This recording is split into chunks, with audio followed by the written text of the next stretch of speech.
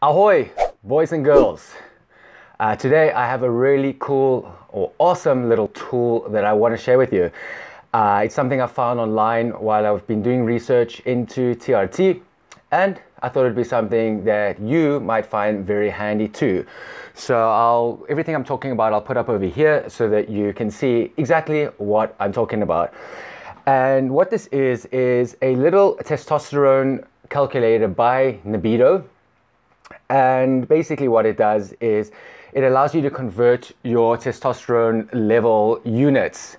So if you look in the bottom corner, the bottom right corner, you'll see there that it says conversion results. And based on where the slider is, uh, it will give you the converted result. So let's say you get your results from the doctor and it says 12 in nmol for argument's sakes.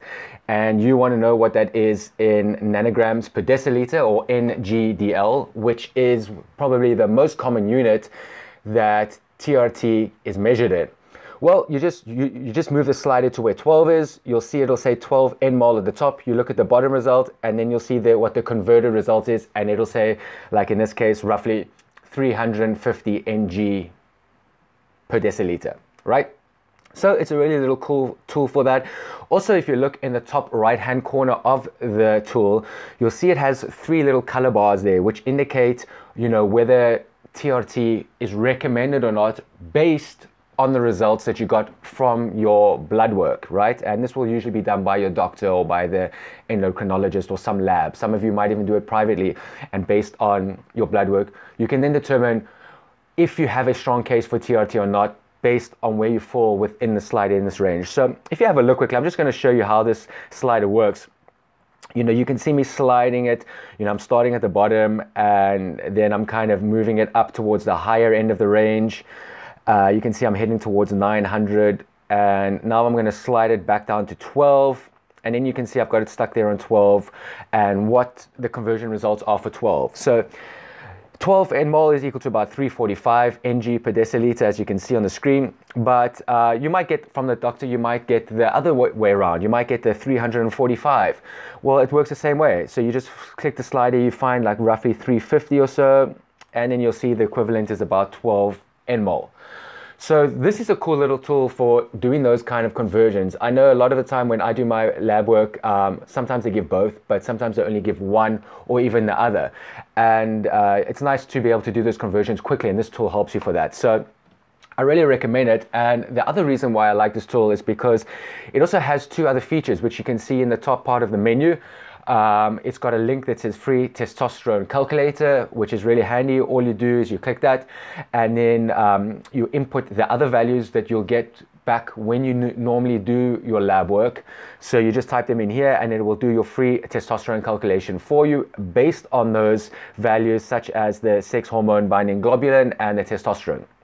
Then the other menu item is the testosterone management tool and this is kind of cool because basically what it does is it asks you a couple of questions, and based on the answer to those questions, such as uh, the first question usually asks what your lab results were, and you pick it, and based on that, it's going to give you a recommendation on whether you should try testosterone replacement therapy, whether you qualify for it or not, whether you should go on a trial, whether you shouldn't, and um, that can be really handy. And uh, I think this tool is used mainly for doctors uh, because you know it, it I think it was created for the doctors who are prescribing Nebido. As you can see at the top, it's a Nebido tool.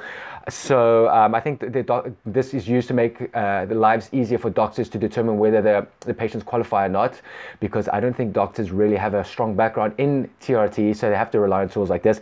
But it's great for you to use as well, because then you can use this as ammunition and take it to your doctor, especially if they aren't giving you treatment or they're denying you treatment or they're telling you that your levels are fine, then you can take this back to them. Like for example, let's say your levels are 250 or you know 300, and they say that's nope, that's good enough. You know, you you should you don't qualify. Well, then you can take this tool to them. You can take screenshots of the results and that you can show them that you know, according to this tool, I certainly have a case for TRT. Can you please reevaluate my situation based on my symptoms?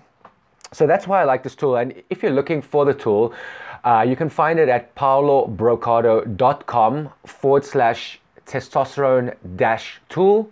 but I will also leave a link for that in the description of the comments. So just, or in the, sorry, in the description of, of the video. So just look for that. And yeah, that's all I wanted to say. Uh, I think this is a really awesome tool and uh, I hope you do too. And yeah, check it out. And if you like it, or even if you don't like it, uh, let me know what you think in the comment section below. And I'll talk to you next time. Boys and girls, adios.